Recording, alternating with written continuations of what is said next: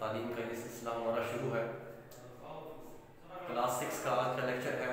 Exercise आज हम करेंगे 2.3 एंड 2.4 क्वेश्चन नंबर वन है 2.3 का। फिल इन दी ब्लैंक्स है। खाली जगह जो है ये पुर करनी है। दो कानून जो हैं, कानून मुबादला और कानून तलाजुम की मदद से।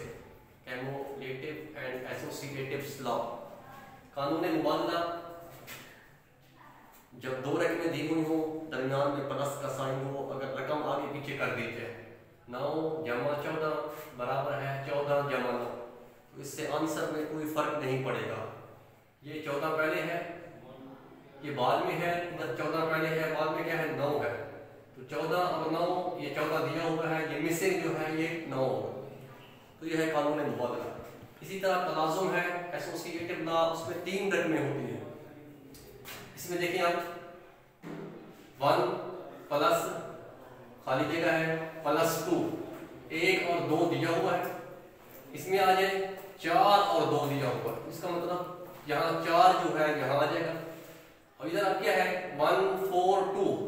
एक, दो, तीन तक में। है फोर और टू आया हुआ है तो ये वन जो है, ये फिल इन ब्लैंक्स में आ जाएगा। ये दो कानून जो है तलासुम और मुबादला की आपने शिनाख्त करनी है। अगले सवाल में क्वेश्चन नंबर टू है प्रूफ एंड आइडेंटिफाई प्रूफ मतलब हल करना है। इन दो को हल करें, इन दो को हल करें आंसर क्या आ जाएगा? सेम आ जाएगा। अब बताना क्या है आपने कि कौन सा कानून है?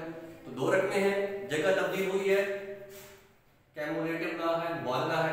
तीन रकमें आ जाए तो वो होगा एसोसिएटिव लॉ जो रकम ब्रैकेट के अंदर है, पहले उसको हल कर लेंगे। उसके साथ बाद में ये, छह और नौ, पंद्रह और ये तीस आ जाएगा। एक्सरसाइज है 2.4 शुरू वाले दो क्वेश्चन बिल्कुल सिंपल से हैं, इसकी आपने को ट्राई करनी है। फाइंड प्रोडक्ट जराब का सवाल है। टेबल आपको याद होना चाहिए, उसके बाद आपने सवाल करना है। क्वेश्चन नंबर टू है, ये तकसीम का सवाल है आपका।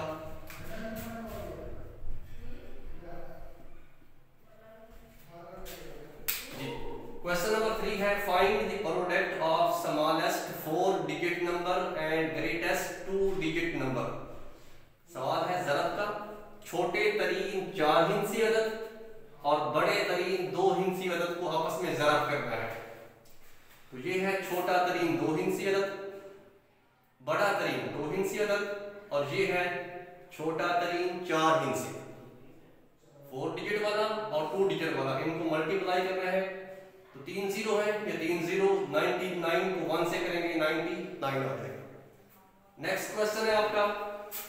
Question number four find the smallest three digit number सबसे छोटा तीन हिंसी अदद मालूम करें which is exactly divisible by sixteen जो 16 से मुकम्मल तौर पर तकसीम हो जाए।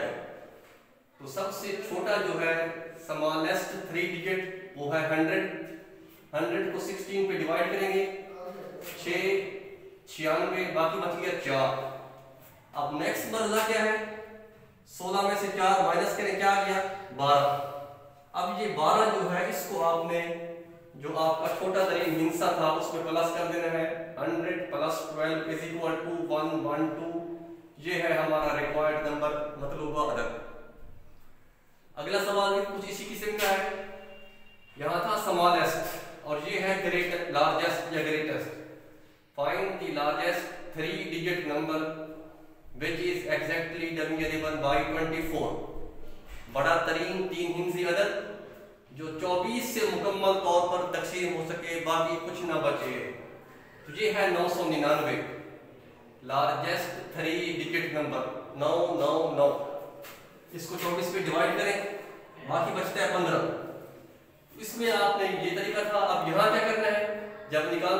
लार्जेस्ट बड़ा तरीन उस वक्त नौ सौ निन्यानवे यानी नाइन नाइन नाइन में से जो बाकी बचा हुआ है, वो रकम माइनस कर देंगे नाइन एटी फोर ये होगा हमारा रिक्वायर्ड यानी मतलूबा अदद ये था आज का आपका लेक्चर। इस बारे में बताइएगा। मसला वगैरह हो। अस्सलाम वालेकुम वरहमतुल्लाहि वबरकातुहू।